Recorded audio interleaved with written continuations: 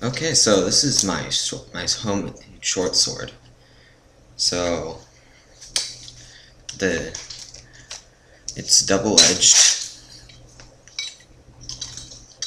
So yeah, it's about 21. Yeah, it's 21 inches. The um the blade is 21 inches, and then the handle is like maybe four.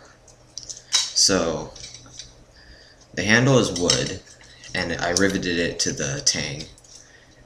You can probably see it. It's only a half tang, see? So I, I just Gorilla Glued it on first, and then I riveted. And then I more or less kind of did the same with the handguard. It's just a cheap handguard because I'm, I'm cheap. So, yeah. So what I did for this one, I don't I want to be able to actually like hammer them out, but this one was just for um, a stock removal. So I just, you know, it was a flat piece of steel this long. So I just cut out the tip, and I cut out the um, tang. So yeah,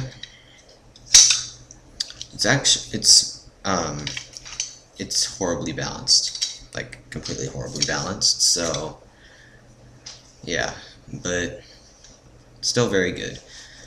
And it's uh it's double edged, so I've done a lot of work with this thing. I use it all the time outside.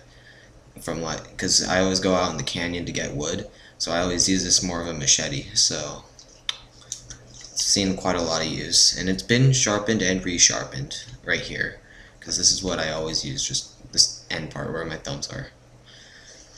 Um, yeah, and I just made the sheath recently. So what I did for the sheath is, you see the wood part? This is um, bamboo that I reversed. Same on both sides, and then the outside I actually put them on, like, so you know how the bamboo is a circle? I put the circle part going like this on the outsides, but on the, but right here, it goes like this and that makes it sort of tight, a tight fit, so it won't just fall out. So, and but it's also not hard to where I can just pull it out like that. So, also, you see how my sword has the the um, the pommel sort of. It holds my hand back, and this is also what where this part is the longest. So to match that on the sheath, I put this little piece of string, just kind of glued it so just it's always facing that direction. Now, when it does this, it fits better on my on my hip right here, just through the belt loop. And it, fit, it fits through better when it's um, facing this way.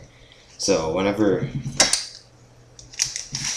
so just, yeah, I always carry it like that. So you, if you want, you can also put it in like this and then put on your left hip. But it, it really is just personal preference. So what I did right here, I just wrapped the bamboo anyways in duct tape as you can tell. Right here I made it like uh, thicker and then also right here I made it thicker so I can get my belt loop around this and fit into this cavity right here so it doesn't just fall off whenever I take the sword out. And then this here just kind of, it's more of just a grip for my, to put on the belt loop. So yeah, and then I used a nail to rivet the thing. And then I put a washer there. I would use a smaller one, but I don't have a ridiculously small one. But yeah, so very simple, um, very effective, all that stuff. So just like my little knife I showed earlier, I sharpen it with this. And also this does have that same worn look to it. But it's worn, but it does also have a very straight blade. Unless I bent it up a little bit. But it's just surprisingly durable.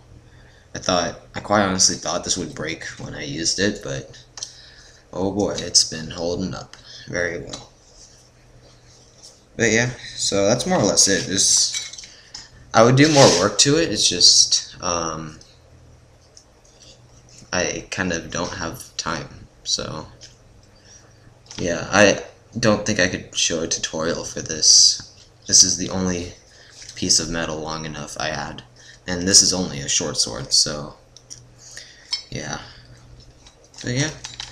So just very simple.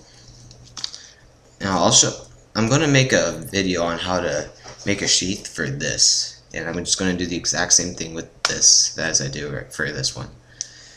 So yeah, that's how you can make the sheath. Just look for that video once I have it posted. So yeah, goodbye.